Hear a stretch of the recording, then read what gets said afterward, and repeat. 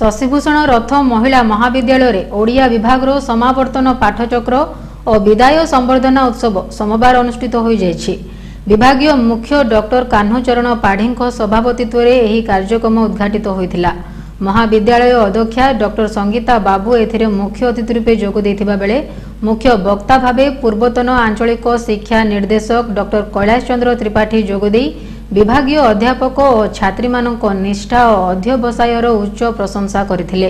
କାଜଲ ପଣ୍ଡା ଋତୁପର୍ଣ୍ଣା ପାଣିଗ୍ରାହୀ ସଙ୍ଗୀତା ପାତ୍ର ଶିବାନୀ ବେହେରା ସସ୍ମିତା ବ୍ରହ୍ମା ଝରଣା ଜେନା ଏଠାରେ ସ୍ୱରଚିତ ପ୍ରବନ୍ଧ ଉପସ୍ଥାପନ କରିଥିଲେ।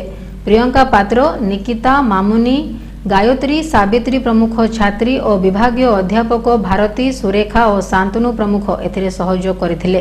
ଶେଷରେ ଛାତ୍ରୀମାନଙ୍କ ଦ୍ୱାରା ସାଂସ୍କୃତିକ କାର୍ଯ୍ୟକ୍ରମ ପରିବେଷିତ ହୋଇଥିଲା। वापस कर दिया।